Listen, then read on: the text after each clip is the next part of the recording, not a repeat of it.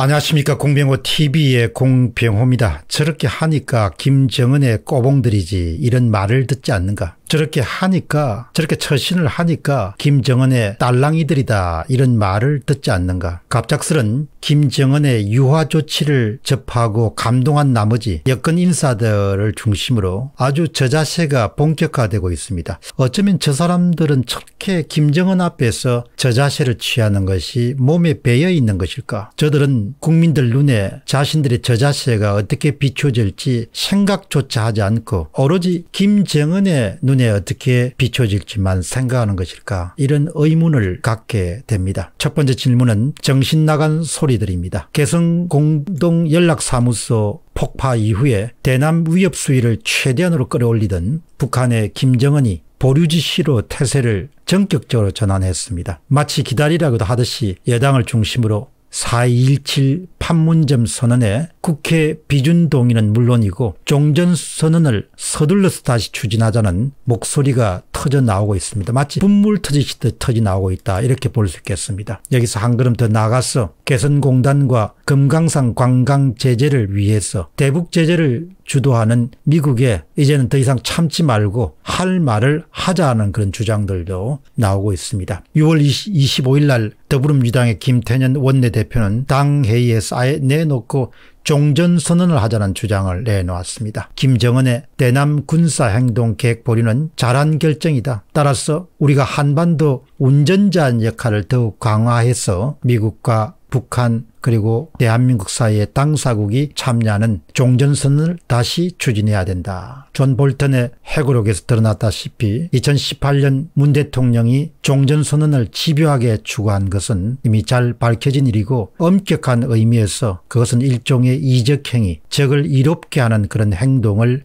대한민국의 대통령이 한 것에 해당합니다. 그런 반성은 일체 없고 이렇게 핵 으로 인해서 문제가 복잡해지는 상황에서 종전선언을 하자 이런 이야기는 정말 더불어민주당의 정체성과 함께 저들과 함께 앞으로 가야 될 세월이 구말리 같다는 생각을 하지 않을 수가 없습니다. 6월 15일 날 종전선언 촉구 결의안을 발의를 주도했던 김경협 더불어민주당 국회의원은 여기서 한술 더 뜹니다. 당장 판문점 선언 비준을 통해서 받쳐줘야 하고 종전선언이 상황을 반전시킬 수 있는 카드가 될 수 있을 것이다. 국회 외교통일위원장을 맡은 민주당의 송영길 의원은 라디오에서 한술 더 떠서 봉창 두드리는 소리를 합니다. 유엔 제재의위원들을 만나서 제재 일부 완화에 대해서 강력히 요청할 생각이다. 자기 혼자서 강력히 요청을 해보지.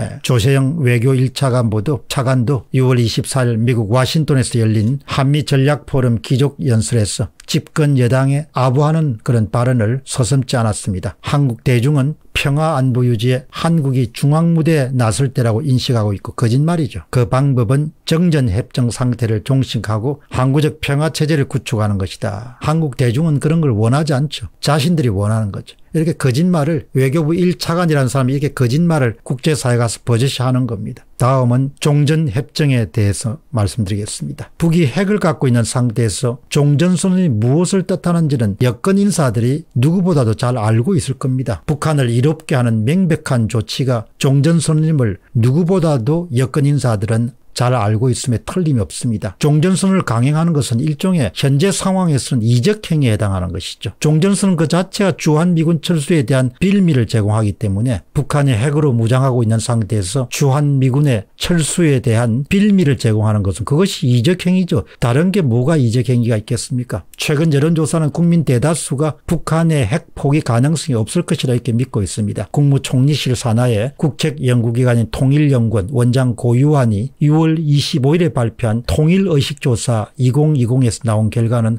국민들이 무엇을 원하는지가 분명히 드러나 있습니다. 북한이 핵을 포기하지 않을 것이라는 전망이 89.5%입니다. 10명 가운데 9명이 북핵 포기 가능성이 없다고 본 겁니다. 이것은 4차에서 6차 핵실험, 중장거리 탄도미사일 발사 등으로 한반도 상황이 굉장히 위험하고 유동적일 때 위기가 아주 극도로 고조되었을 때 2016년 71.3% 2017년 81.1%보다도 훨씬 높은 수치입니다. 북핵 포기 불가능한 상황에서 주한미군 철수의 빌미를 제공하는 종전선을 추구하는 것은 그것을 어떻게 온전한 생각을 갖고 있는 국회의원이다 이렇게 볼 수 있겠습니까 2018년도에 종전선언을 줄기차게 내세운 대통령은 그때도 온전한 생각을 가진 인물이라 보지 않습니다. 자신의 정치적 어젠다라든지 자신의 정파적 이득을 극대화하기 위해서 국민들을 크게 위험에 빠뜨릴 수 있는 그런 행동을 했던 인물이 2018년 도에 문 대통령이었습니다. 지금 더불어민주당 국회의원들이 하고 있는 것은 국민 전체를 위기에 빠뜨릴 수 있는 그런 위험한 행동을 하고 있는 것이죠.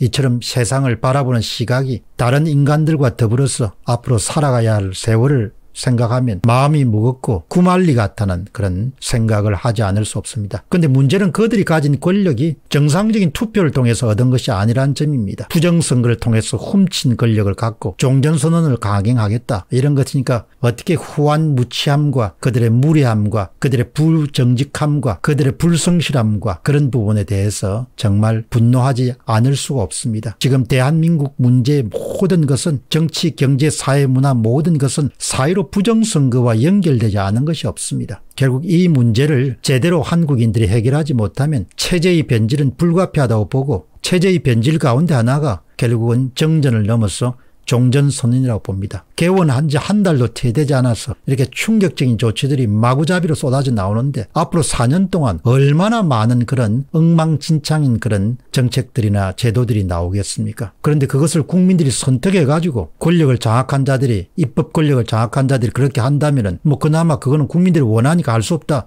이렇게 하지만 지금 시간이 갈수록 점점 명백해지는 것이 권력을 훔친 거 아닙니까? 권력을 탈취한 거 아닙니까? 권력을 강탈한 거 아닙니까? 국민들의 의도와 전혀 관계없이 그런 훔친 권력을 기반으로 해서 우리가 177석을 차지했으니까 우리 마음대로 하겠다. 얼마나 가정스러운 일입니까? 다시 한번 더 강조드리지만 지금 대한민국에서 논쟁의 대상이 되고 있는 모든 문제는 사회로 부정선거와 직접 간접으로 긴밀히 연결돼 있다. 국민들이 이런 사실을 깊이 인식하시고 사회로 부정선거를 문제를 해결하는데 좀 더 깊은 관심을 가져주시기를 바랍니다. 공병호 TV의 공병호였습니다. 감사합니다.